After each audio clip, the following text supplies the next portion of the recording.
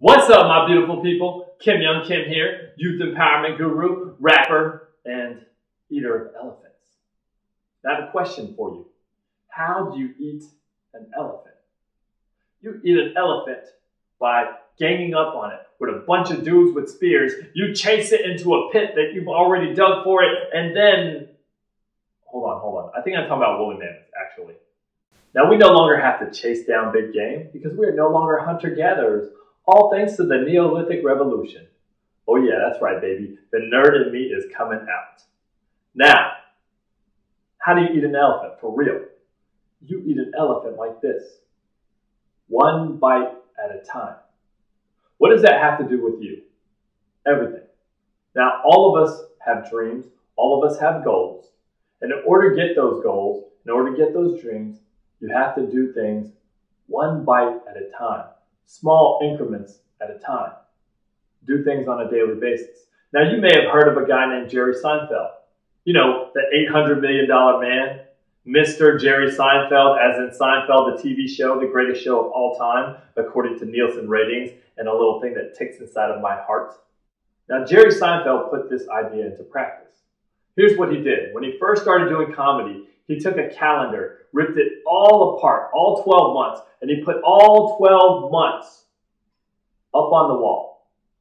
And what he did is every single day he would spend time writing jokes. Every single day he would spend hours writing jokes, working on a couple jokes a day.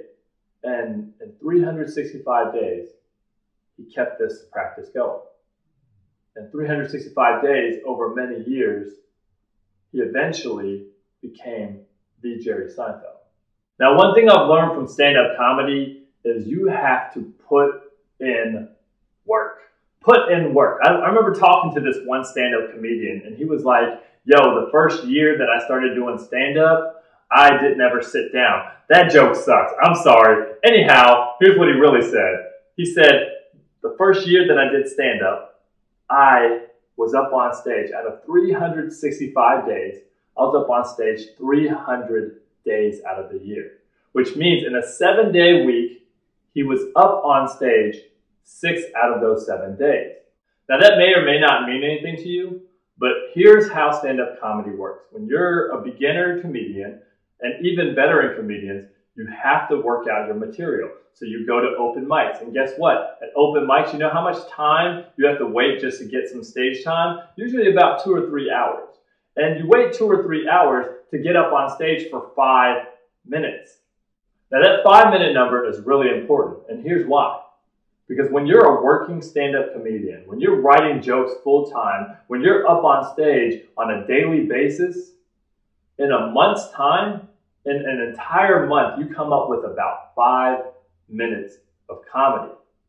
When I go to open mics, I hear comedians tell the same jokes I've heard them tell over and over again. Honestly, I could tell their whole routine. I've heard it so many times.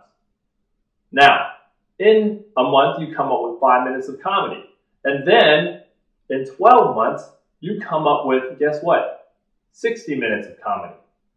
Now, the reason why stand up comedians only come up with one hour specials every year at most is because it takes them an entire year of hitting the stage to come up with that one hour of comedy. Now think about all the great stand-up comedians for a second, like Chris Rock, Jim Gaffigan, Brian Regan, Kevin Hart. How many full-length stand-up comedy specials have these guys made? Three, maybe four. And the reason why they've only made three or four stand-up comedy specials is because stand-up comedy is hard work. But because they implemented the idea of eating an elephant one bite at a time, one day at a time, one joke at a time, they eventually got their dreams. And the very same way they got their dreams, you can get your dreams too. By putting in work on a daily basis, and eventually that work becoming something special. And so that's what I want to leave y'all with. It's very important that you understand Rome was not built in a day. Your dreams will not be built in a day, but if you do the work, you will see the results. All right, y'all. So that's the end of my video. I hope that you enjoyed it. I hope that you got something out of it. And I hope that you'll come back for future videos. And also, if you have any comments, if you have any questions, if you have any death threats, feel free to leave them in the comment section below. Minus the death threats, of course. Don't tell me about how you're going to kill me. Tell me about how you're not going to kill me, okay? All right. Peace out, y'all.